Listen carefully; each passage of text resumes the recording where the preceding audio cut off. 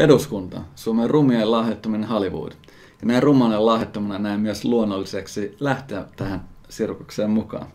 Toiseksi mulle jo riittää tämä Sipilän hallituksen kyykkypyllystystaktiikka rahanvalla eessä, joka on meille ilmentynyt niin pakkolakien säästöjen leikkauksien muodossa.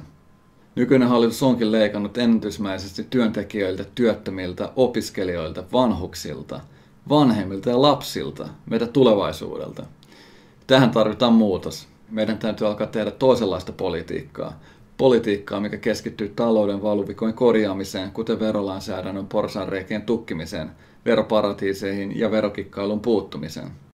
Me tarvitaan myös päättäjiä, jotka uskaltavat puuttua tehottomiin yritystukiin uudelleen allokoimalla ja leikkaamalla niitä. Me tarvitaan päättäjiä, jotka eivät pelkää kautta myös Suomen rikkaamman prosentin säästöpossuihin, muuttamalla esimerkiksi pääomatuloverotus paljon progressiivisemmaksi. Vuokra-asumisen kalleuteen on myös puututtava ja evättävä markkinavuokria pyytävien kiinteistösijoitusyhtiöiden asema yleishyödyllisinä liikkeenä. Nämä yhtiöt nauttivat verokevennyksistä ja tekevät voittoa satoa miljoonia euroja, kun samassa suhteessa valtion asumistukikustannukset nousevat, jotka ovatkin nousseet kymmenessä vuodessa miljardista kahteen. Käytännössä rahapumppu on kiinnitetty Suomen possupankin kylkeen. Meidän passivoiva sosiaaliturvajärjestelmä tarvitsee myös uudistuksen ja teknologisen kehityksen myötä perinteisen työn tekeminen on murroksessa, joihin rakenteellisen ratkaisu tulisi perustulon tai reaaliaikaisen tulorekisteriin perustuvan käänteisen tuloverotusmallin kautta. Meidän on siis tulevalla hallituskaudella jatkettava ja laajennettava näitä kokeiluja.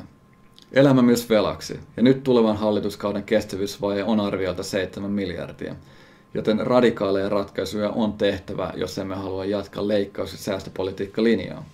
Ja jos me ollaan fiksuja, meidän tulisi vähintään rajatusti laillista kannabis ja aloittaa lääkekannabisteollisuus valtion yhtiönä. EUn parlamenttikin on juuri hyväksynyt maailman terveysjärjestön uudet suositukset kannabiksesta ja sen hyödystä lääkkeenä, joten mikään muu kuin ennakkoasenteemme ole esteenä kieltolain purkuun. Tässäkin koko teollisuudessa liikkuu kymmeniä miljardeja helposti, josta Suomi voisi ottaa myös oman siivunsa. Työllisyysasteen nostaminen 75 prosentin tasolle on myös tavoiteltavaa, mitä tavoitetta tämäkin lääkekannabisteollisuus laajalti tulisi tukemaan. Sillä työllisyyspotentiaali on kymmenissä tuhansissa, kun ottaa vielä mukaan epäsuorasti syntyneet työpaikat. Sen sijaan, että varastetaan kansalaiselta voikin leivän päältä, valtio voisi alkaa kirnoamaan omaa voitansa. On muuten jännä, mitä politiikan huipulle pääsee niin orpoja, siis urpoja ihmisiä, jotka elävät illuusiossa, että yritykset luovat työpaikkoja, vaikka todellisuudessa alueellinen kulutusvoima mahdollistaa yrittämisen ja kannattavan yritystoiminnan. Ja tämä vasta luo edellytykset työpaikkojen syntymiseen. Joten niin työttömiin, työllisiin, opiskelijoihin ja eläkeläisiin kohdistuneet leikkaukset ovat olleet juurikin vastakkaista sille, mitä me tarvittaisiin yrityksen tukemiseen ja työpaikkojen syntymiseen. Me tarvitaan kulutusvoimapohja.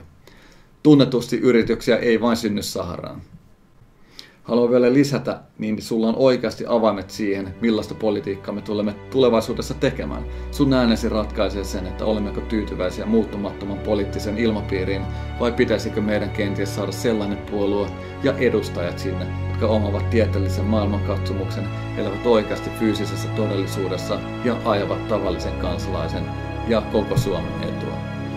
Mä en voi edes painottaa tarpeeksi paljon äänesi tärkeyttä Sä kyllä tiedät, mitä sun pitää tehdä. Kiitos